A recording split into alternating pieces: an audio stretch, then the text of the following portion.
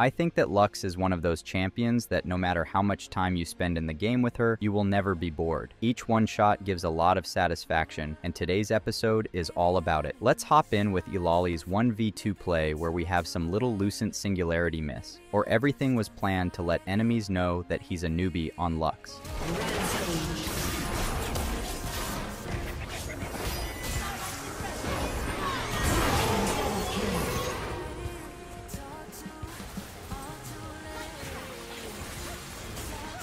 Enemy Volibear is the only reason why this game is still in existence. He's 6 to 2 and anyone from the blue side doesn't have any chances in a 1v1 battle, or there is only one chance, but some of them must be fast enough to instantly one-shot him. We all know how Danaris can be as fast as Lux.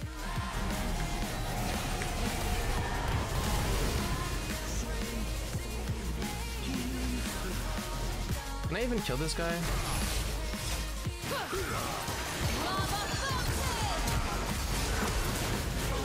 Aleafrosty gets heavily surrounded from each side. Lux is very squishy, and in a 3v1 situation, you need like some miracle to survive. I'm not even counting taking them down, but this might be one of the most unexpected moments for enemies.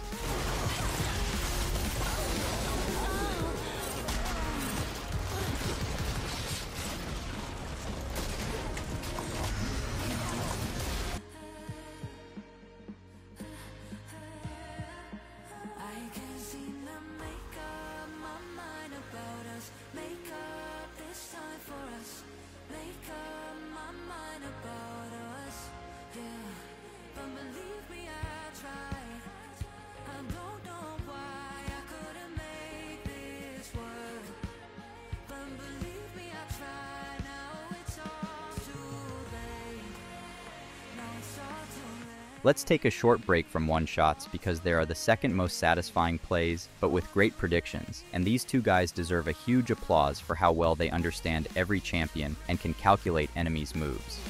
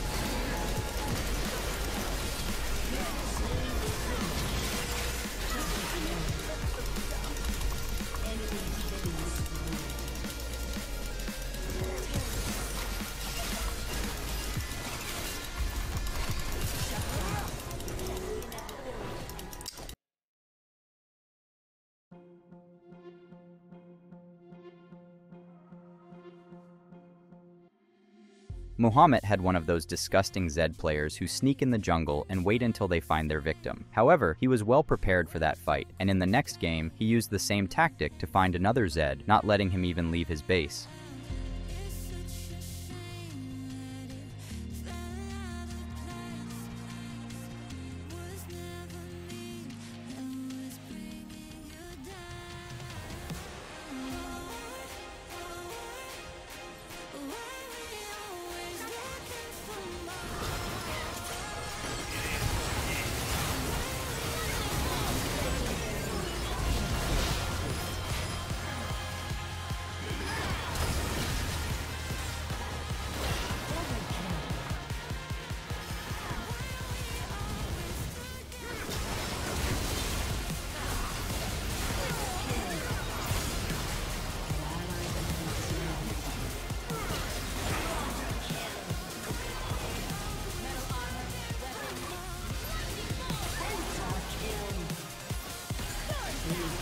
O1 item completed and 11 stacks on Mejai's is enough to be target number 1. Now enemies have a great opportunity to finally get rid of Lux because she has nowhere to escape. However, it might not be as easy as it looks if she's in good hands.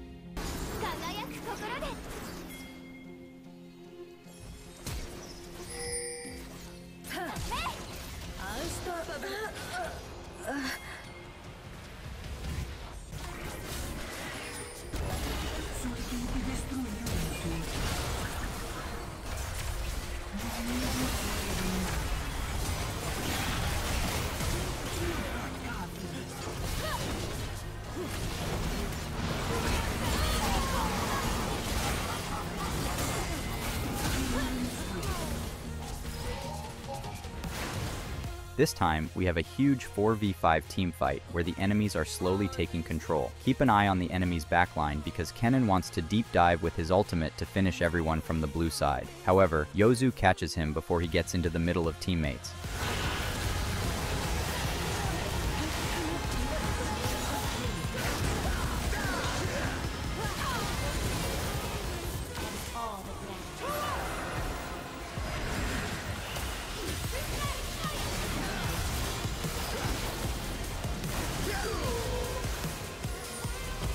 Penta!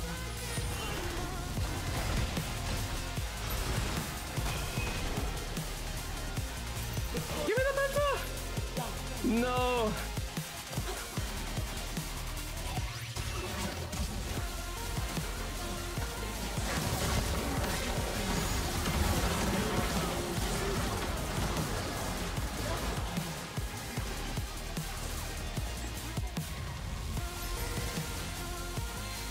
Nycarice is making a very risky move. After taking the Nashor buff, everyone went back to base and reset. He decided to take one more wave on the mid lane. He didn't expect that Jhin would be there too. Even if he is two levels behind, we know how broken his damage is, but I guess everything was calculated again.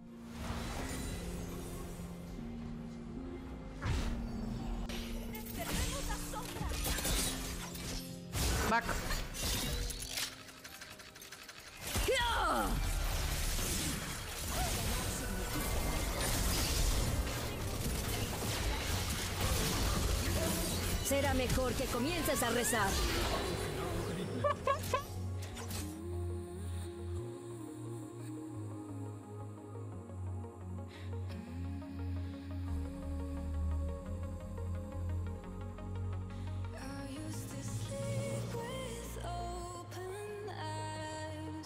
I've made about 50 videos with Lux in my life, and I feel like every episode has one of those classic plays with Lee Sin. After many years, they are still making the same mistake, underestimating the Lux player who can easily flash out while they are marked by his Q.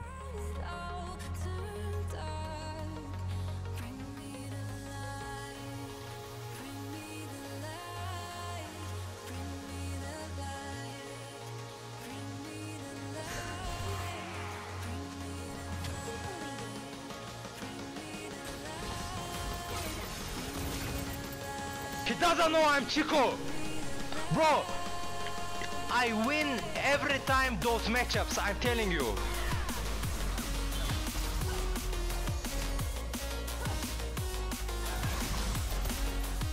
I can't even imagine a better moment for a comeback like the red side has now. They just wiped almost everyone from the blue team, and they instantly went to take the Elder buff. Even if they are far behind, Karthus with this buff can carry the whole team, and this guy is the last hope to save the game.